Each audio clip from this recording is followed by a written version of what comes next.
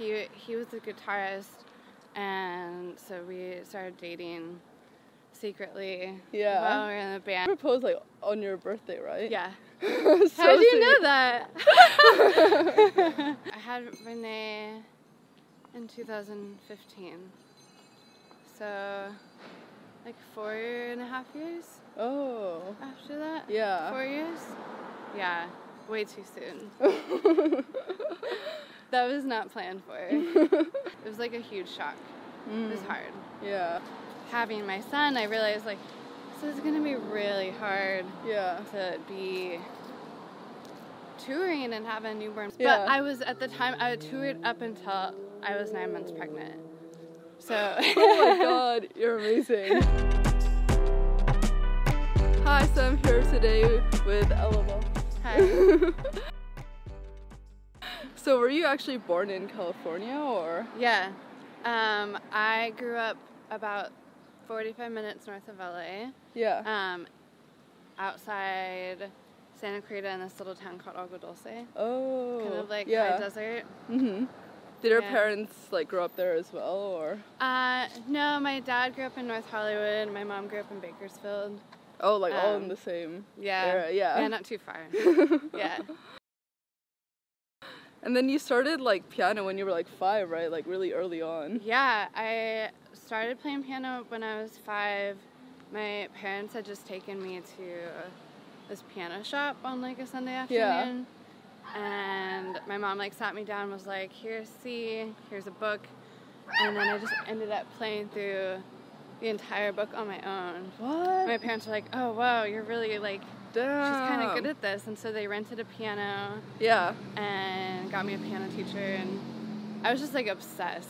Wow. So like they didn't like they literally they didn't have to tell me to practice. They to be like, you actually need to stop practicing Oh, really? and come eat dinner. Oh my god, You need to go to so bed. Oh my god. Are they? Do they do musicians? As, are they musicians as No, well? no. Um, my my mom's family is pretty musical, like her extended family, but Yeah. no, my parents are not like the most creative. Yeah. What do they do? My dad um, has his own business doing aircraft safety equipment. Oh, that's cool though. Yeah, he started it um, right before I was born. Yeah. Um, yeah, so that's what he's done Yeah. his whole life.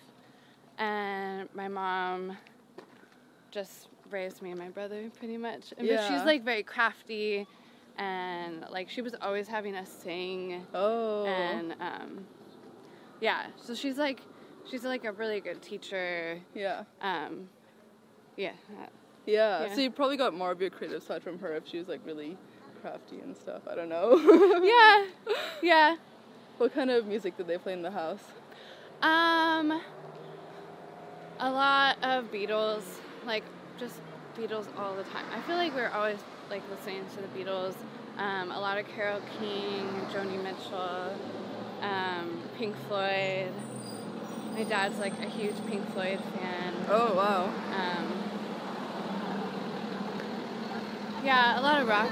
Yeah. I guess. My mom loves Motown too. Yeah. And so, like, when she would drive us to school in the morning, like, she was always playing um, Yeah.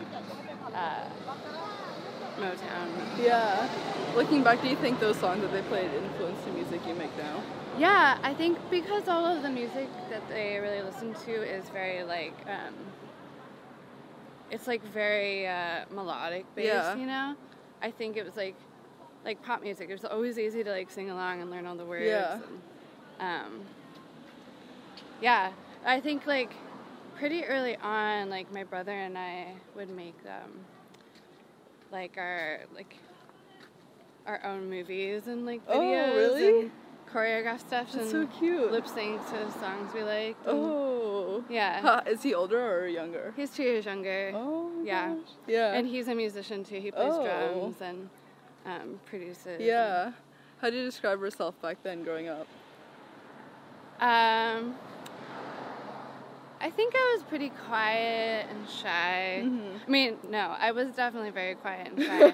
My best friend was always like the like girl who was like just like the center of attention kind of Mhm. person. You Yeah. know, like they were loud, they were the leader, um, they were like the cool kid in school, Yeah. and then I was just like their best friend. hmm Were you into school though?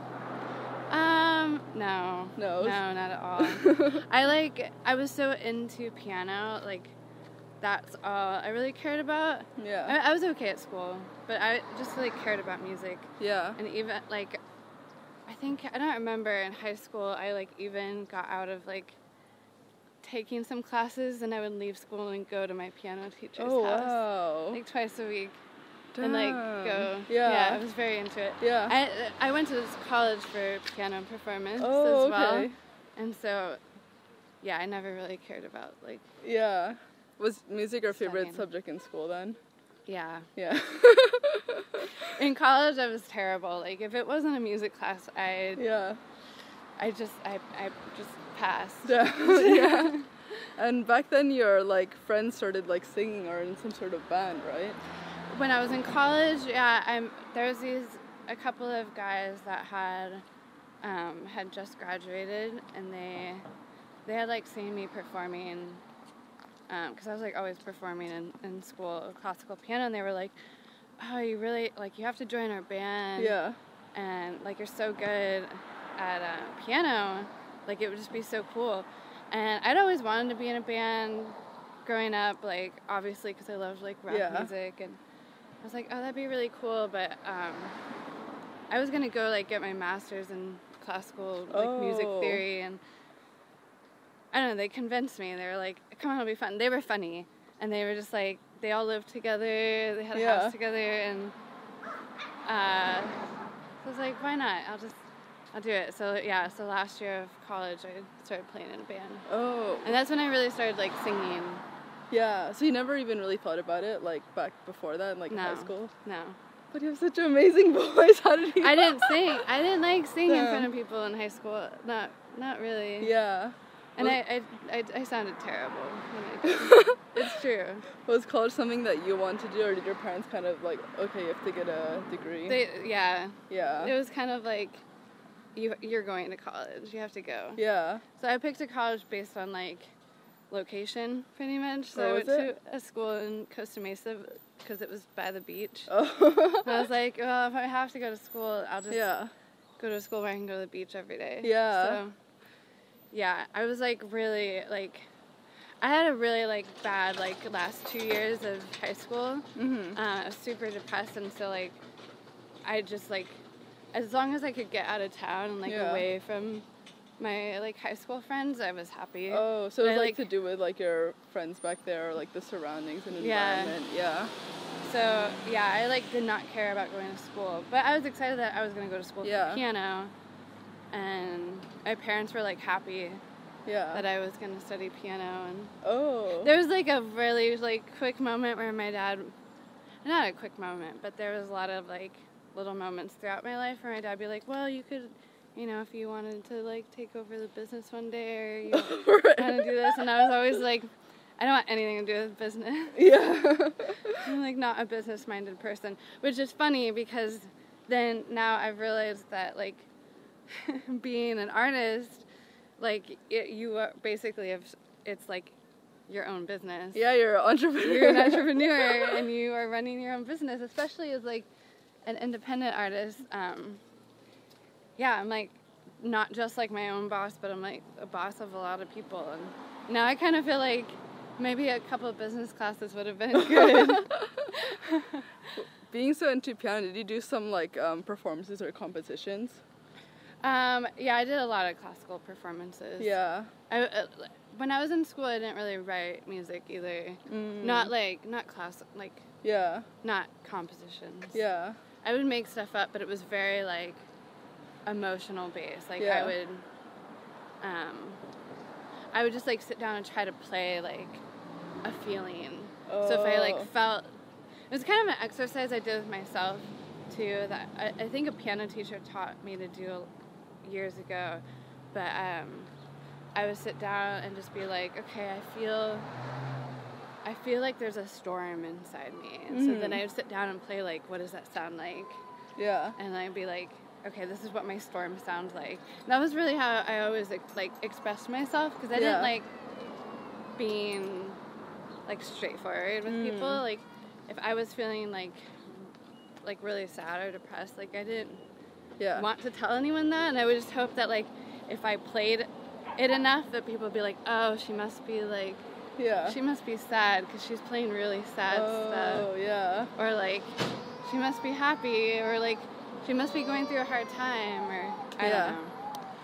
I like always just try to convey like my emotions through like how I was playing piano, and which Mhm. is kind of like in turn like is how I ended up uh, writing songs, and I feel like with like writing lyrics and singing, like it's kind of like the same thing where you can express yourself, but you don't have to be, you know, you can kind of mask it, Yeah. and uh, uh, it makes it a little bit easier to to say something that's difficult, I guess. hmm Who were your favorite composers back then? Uh, Chopin, Yeah. yeah. What about his work? Um, it just, I think it just, it just felt so heavy and like, I don't know. To me, it was just so emotional, hmm and I could really like lose myself in it. Yeah. And but at the same time, it was really like challenging, Mm-hmm. um, like musically challenging. Yeah. And then, so did he graduate college? Yeah. And then, and then you just went straight on to the band, so you didn't have like much time in between. Yeah, no, I, I like moved right out of my dorm into the band house, and uh, Wow. Just did that for like. What is it long. actually like being in a band house? Like you live together, you make awful. music together. I mean, it was like great for a couple of years, but it's like, it was intense because, yeah, you're you're making music together, which like, being in a band is just really hard in general. Um, so you are vulnerable with each other, and then you sometimes if you're angry Yeah. with them, like you use that Oh against gosh. them, and so there's a lot of drama, which is why the band didn't work out. yeah. And then you met your like boyfriend back then, like pretty early on, like when you were joining in that band. Right? Yeah, yeah. He he was a guitarist, and so we started dating secretly. Yeah. While we were in the band, which was. Is that like you're not allowed to? Is that what? They had do? like Yeah. they yeah they had like made a rule between the three of them before I joined the band that no one would be allowed to date me. Oh, But, okay. and I had no say in that. yeah. Uh, but yeah, we fell in love, and so it didn't matter to Yeah. us because we knew it was gonna work out. I think. yeah. like we didn't see it as being a distraction for the band. hmm So yeah, so we started dating, got married, got Yeah. married really young, and How old were you back then? I was 24 when we got married. You proposed like on your birthday, right? Yeah. So How do you know that? uh, yeah, he did. That's so funny. I like forgot about that. Some days I forget what day we got married, how long we dated, what year we met. I don't even know. It's Yeah. How did you realize he was the one that you wanted to marry? I don't think I did. like spur of the moment. yeah, I honestly always thought I'd get married like a lot older. Um, just like I thought I would be more independent for, Mhm. before. Like, but I feel like I just went from like living like in the in like college dorms, living with like nine girls, Yeah. to living with six roommates in a in a oh, band, Oh yeah. and then to being married. Like I never had alone time really. Yeah. Or like, you know, I never had a place on my own and I didn't really have like a relationship outside of like that like college and band life, which is fine. But yeah, it was just like it all just kind of just happened. So I don't know if I ever like realized it just felt right. Yeah. What was what's his personality like? Um, I don't know. He's funny. he's funny. He's really talented. He's a guitarist and Yeah. plays a lot of other instruments. And he's really smart. Yeah. Yeah. and then how long after did you um, have your son? Um, let's see. I had Renee in 2015. So, like four and a half years Oh. after that. Yeah. Four years? Yeah, way too soon. that was not planned for. but um, but it turned out good. yeah. But yeah, it was like a huge shock. It was Mm. hard. Yeah. But after, after that, you were a bit like depressed, right, or like miserable. Yeah. Well, I I wasn't miserable when I was pregnant. I just was like I did feel like I was struggling because I I didn't know how like didn't really like know how my life was gonna look like being a musician, but with both of us being musicians and like not feeling like we either of us were in a place where we felt like stable or like even really knew what we were doing next. Um, and so I was touring at the time with a, with another band with Borns, Mm. and which I love doing. And I kept like I kind of kept telling myself like, yeah, this will just keep working out, right? Like I'll have a baby and then I'll go back on the road. Mm-hmm. And then as it got closer to like having my son, I realized like this is gonna be really hard Yeah. to be touring and have a newborn baby and like his career was really just starting to take off and Yeah. um Borns' career was starting to take off so I knew like I have to like I have to just I gotta do something where I am you know where I'm in control of it I Yeah. either need to like go get like a real job or I need to Yeah. do my own Yeah. artist career Yeah. thing. I don't know. Did you actually get a real job in that time, or were you always? No. Then you oh my gosh, you've done music your whole life. Yeah, I've had a couple other jobs, but Yeah. I was at the time I toured up until I was nine months pregnant. So oh my god, you're amazing. Damn. it was hard. I mean, it wasn't. It was fun. It there was hard, hard. moments. I mean, yeah. Wow. It was good. The band was like, I mean, I love that band. They're just Yeah. like family, so they took good care of me. Yeah. And after, actually, after when you um, got married, you had some like financial, like you were going out a lot or like spending a lot. Oh yeah. I mean, I feel like it's just something you do when you're when you first get married and you just don't have like well, I don't know, maybe because we were just young Mm. and we I just we just didn't have any sense of like we should be saving money or Mhm. we didn't even like we just like made we just tried to make as much money as we could to get by so we could keep Mm. like making music. Yeah. And so we yeah, we just spent way too much money. I mean, we were going out all the time. We just yeah. What was the Partying. turning point that you realized that you wanted to be more like conservative in your spending? I don't know if I have. I mean, mostly like ha- I think having it's crazy, but having a kid is re- it's, it's really expensive. Mm. Um, yeah, Yeah. it's like before like we didn't ha- you know like you can just not eat for a day and it'd be fine or yeah. you know we just eat like cheese and crackers for dinner and that would be okay and then when Yeah. you have a kid you're like oh i gotta like i gotta get real groceries Yeah. and you realize like wow groceries cost a lot of money Yeah. it's just so different it's like you know it's just stuff you don't think about when Yeah. you're living you know very much for yourself and Mhm. like yeah when you have someone depending on you who like you're responsible for it's a lot and i think that's why i like i think that's why i started writing songs Mhm. and um, just knew like that i just needed to be like a solo artist Yeah. so that i could make that happen Mhm. How has your relationship with your husband changed or grown since you've had Renee? Um, it's just, I think it's hard. I think it's actually, it, it's it's good. It's great. I I still love him, but it's really, um, I think it's actually our relation.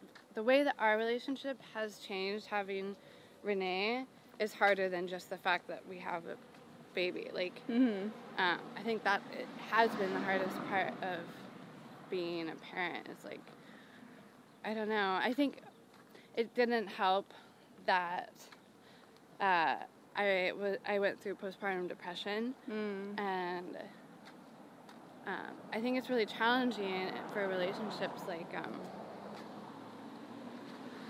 it took us a long time to like one realize that like I was actually dealing with something that needed to be treated Mm. and I like just was such a different person during that time Yeah. and like as supportive as he was um I think it was just hard to be there for me because I I, I talked so differently and just Mm. acted so out of character it's really hard Yeah. because you I, I think that's just that's how it is with like a lot of like mental illnesses it's like the person looks the same it doesn't seem like anything is wrong but they Mhm. just seem like a different person on the Yeah. inside and so that was really hard i think a lot Yeah. of stuff like we did, i don't think i got help as soon as i should have Mm. and so i think so i, I don't know So I think some of it Yeah. was just it was damaging Yeah. to us How did you realize that you needed help, and what- was there like a turning point? Yeah, I I remember the day I, I walked to my friend's house, my my friend Haley, who lived like less than a mile from me, and I was like, it was the first day I tried to like exercise by myself. Mm. I think Renee was like nine months old, and I was like, I'm gonna go on a run, which ended up just being a walk. Yeah. I'm not a very good uh, exerciser. um, and I, I walked to her house and we were talking and I don't know, she said something. I don't remember what she said, but I just remember sitting on her bed and being like, wow, yeah, this isn't me. Mm. Like, this isn't who I am. Like, what is, who am, like, who is this person that's like taken over my body? Yeah. And I was like, oh, this is like, this is way more than me just being like, feeling resentful or Mhm. just feeling, just being selfish that like, um, you know, that my life isn't my own anymore.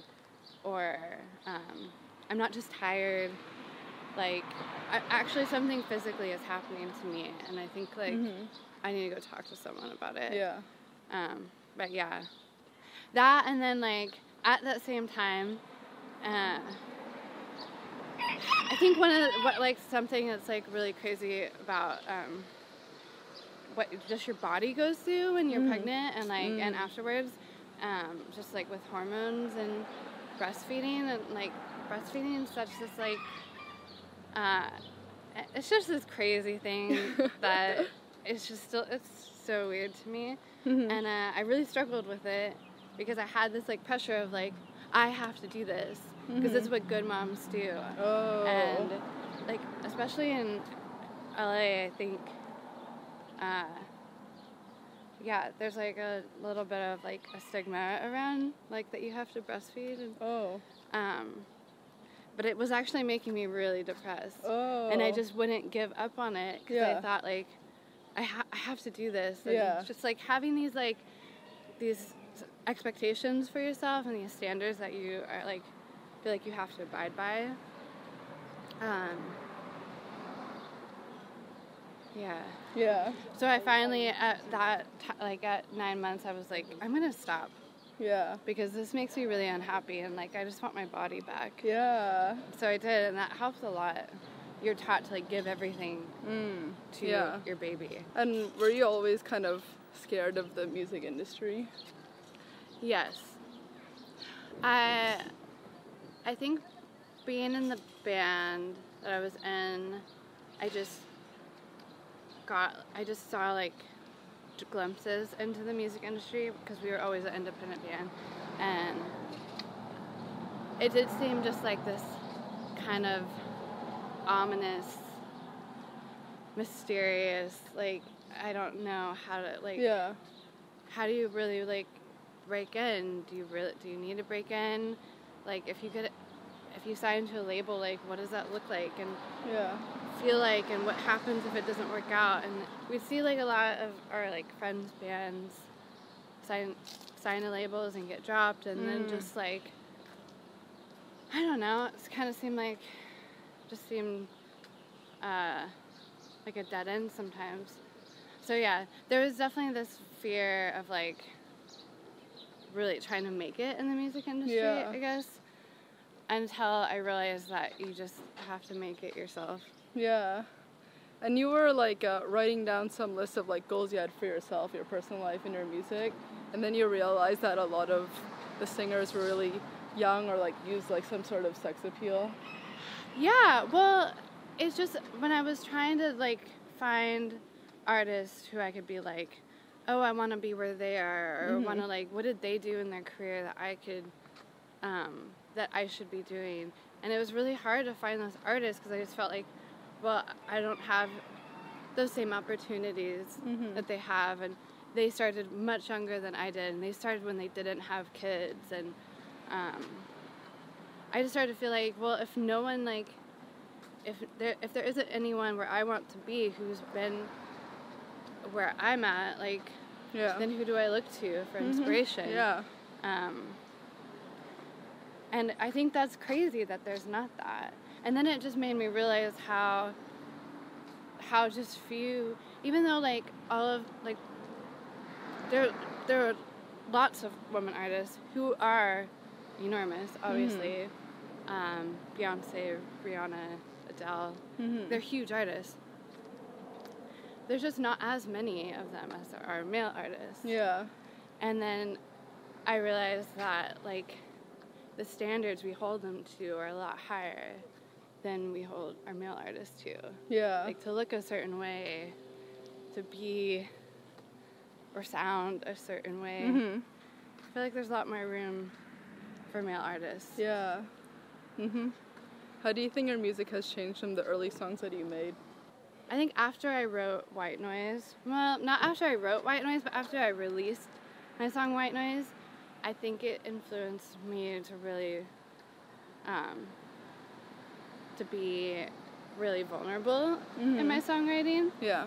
Um, whether that came through the lyrics or not, but it just like, for me to like be really personal and reach into personal things instead of trying to write about things that I think people would want to hear Mhm. and just realize like, well, if I want, if this happened to me, if this is an experience I have, it's probably happened to someone else. Mhm. So if I just write about what I'm going through, I'm sure someone else Yeah. wants to hear it. But I didn't have that realization until I had released White Noise. Mm. Before White Noise, I really was like, I, I wanted to keep up a really big wall, Yeah. I think, between like how I actually felt and what I would write about. Oh, was there a reason why you like sort had that wall?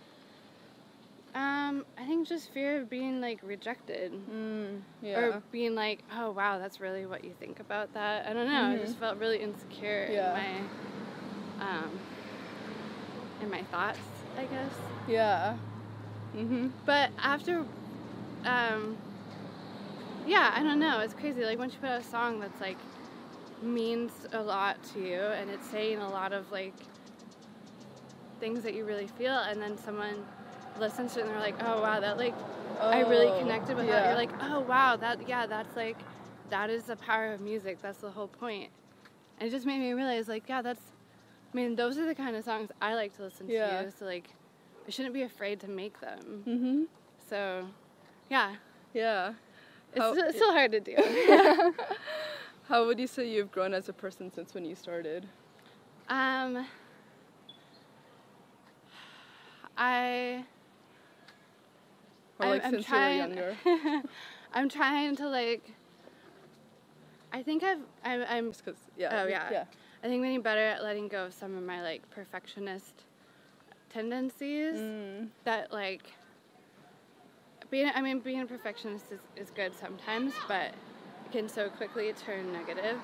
And I think I've just realized as like like running a business basically as a musician that you just gotta let some things go. Mhm. Um, and just like keep moving forward. Yeah. And I think that's something that's always been hard for me to learn, um, especially being a classical pianist, where like you just never want to hit a wrong note. Mm. And so it's kind of like that with everything, where it's like Yeah. I just don't want to make a mistake. And at the beginning, I would get really just anxious and stressed out if I made a mistake. Like if I if I did the wrong thing on social media, or if I wasn't. Uh, if I didn't say the right thing in a meeting, I was just like so critical of myself Oh, yeah. and um, yeah, and I realized I just have to let that go because a lot of that stuff doesn't matter. Yeah. And it really like I think it did hurt me. Like I at the about like a year ago or like in January, I was having a lot of meetings with labels, and I don't I didn't don't think I like said what I really wanted to say Mm. in those meetings because I was so scared about saying the wrong thing. Mhm. And uh, yeah, I've grown a lot since then. Now I feel Mhm. very much more like comfortable in my own skin. Oh, I love that. I guess. Yeah. Yeah. Last question. What do you want to be remembered for? Remembered for? Um, I think I guess, be like a. I don't know. um, a good songwriter. mhm. Uh, who cares? Yeah. Yeah.